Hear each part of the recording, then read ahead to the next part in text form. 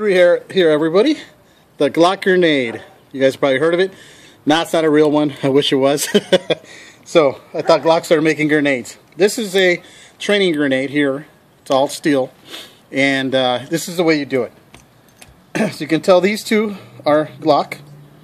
Uh, this one's just a little heavier, bounces around. Just basically squeezing, that's what that one's for. It's pretty cool. This is the one you're going to need. And this bounces around too. And what you do is you're going to take a knife. I already did this, but I'm going to show you. Or something like that. And be careful, don't cut yourself. You're going to cross a T up here, not too big.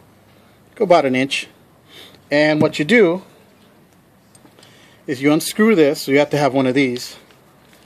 Probably get a surplus store or something online.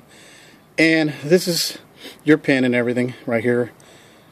All you do, squish, squish it in there like this.